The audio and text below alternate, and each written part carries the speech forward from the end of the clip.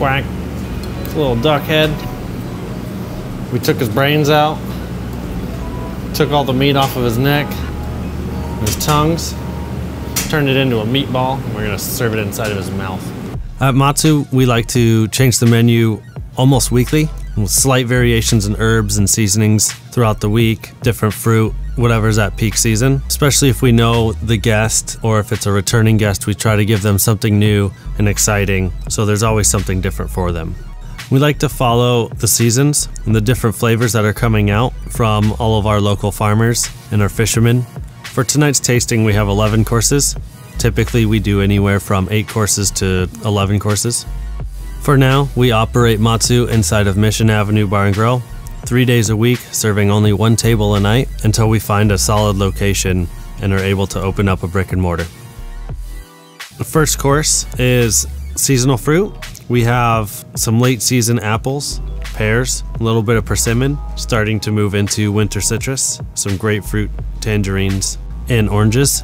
We top the fruit with a little bit of salt that's been infused with pine needles and Sansho peppercorns.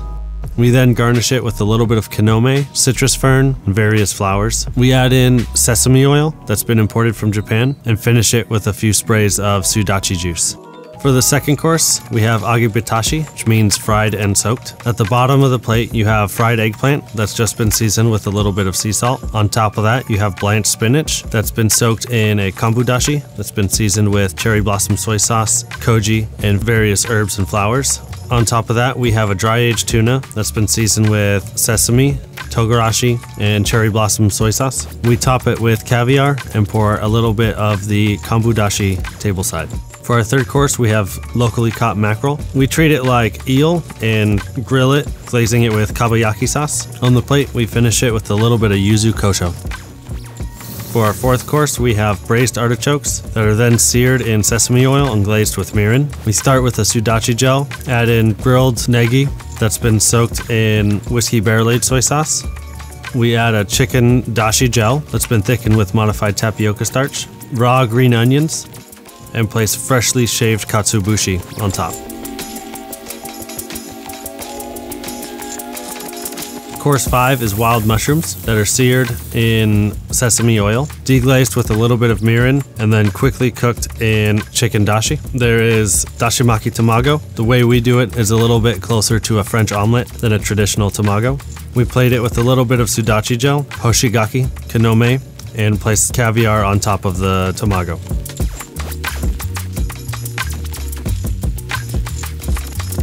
Course 6, we have a meatball made from duck neck, duck tongue, and duck brains.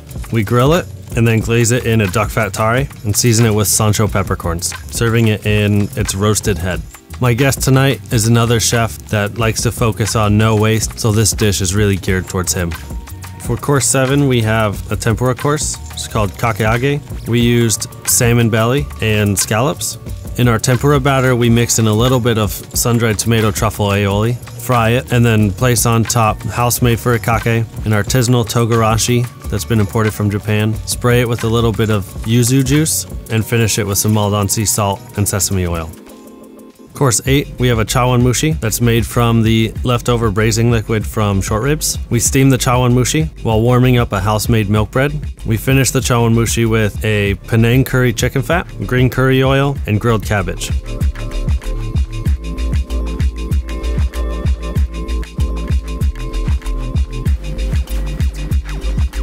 Course 9, we have a grilled squab that's glazed in our matsuyaki sauce. Matsuyaki sauce is much like our own version of teriyaki. We have sudachi gel, grilled negi that's been soaked in whiskey barrel aged soy sauce, turnips that are just lightly roasted in a pan with grapeseed oil and salt, a little bit of Japanese raisin tree, which has the texture and flavor of a raisin but looks like a tree branch, segments of apple, we put a little bit of Sansho peppercorns and sesames on top of the squab and finish it with a little bit more of our matsuyaki sauce. If you want to see a more in-depth video on this dish, click the card on the screen. course 10, we have an American Wagyu from Mishima Reserve. We marinate it in red miso paste and then coat it in panko breadcrumbs. Once fried, we season it with a little bit of Maldon sea salt and Sansho peppercorns. We place horseradish that's been dehydrated and then rehydrated with whiskey barrel aged soy sauce and mirin, onions that are cooked down in koji and mirin for four to five hours. Then we top the Wagyu with grilled cabbage, fresh green onions, and finish it with a little bit of sesame oil. Our 11th course and final course for this evening is a white chocolate mousse. It's made with a custard base to replicate the texture of ice cream without having it melt. We finish it with sesame oil, fermented honey, bee pollen, honeycomb candy, matcha powder, pickled mustard seed, and spray it with sudachi juice. Tonight's menu was all about pushing the limit as far as Japanese flavor profiles and using ingredients that you don't typically see in most restaurants like duck heads